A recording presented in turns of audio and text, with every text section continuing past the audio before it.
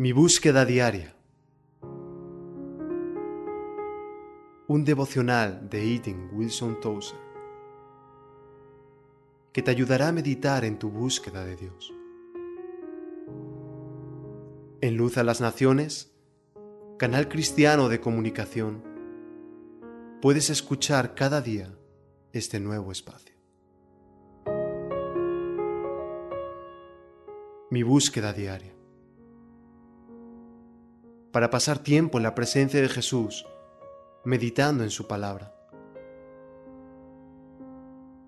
Buscad a Jehová mientras pueda ser hallado. Llamadle en tanto que está cercano.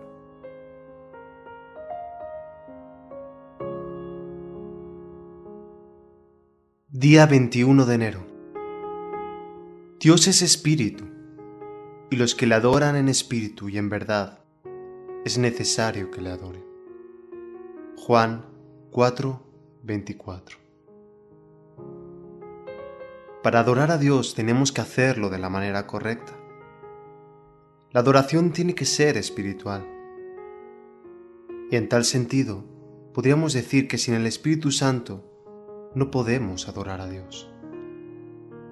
El Espíritu Santo es el único que puede guiar al corazón de la manera correcta para adorar a Dios en forma aceptable. La mente humana no sabe cómo adorar a Dios de modo aceptable ni dirigirse en el rumbo correcto para hacerlo. Es por eso que resulta tan importante que conozcamos al Espíritu Santo.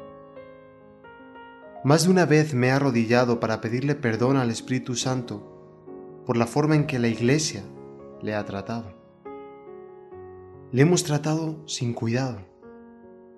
Le hemos tratado de tal modo que si lo hiciéramos con un invitado, éste se iría triste y no volvería jamás. Muchas iglesias le reconocen al iniciar y al concluir el servicio, pero aparte de eso, no cuentan con su presencia. ¿Cuánta gente va a la iglesia el domingo por la mañana tomando en cuenta que el Espíritu Santo les hable?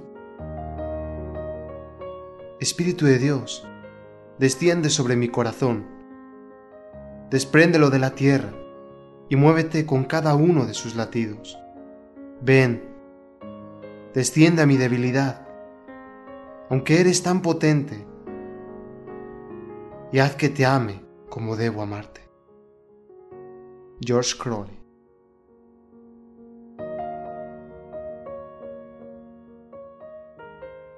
Oremos.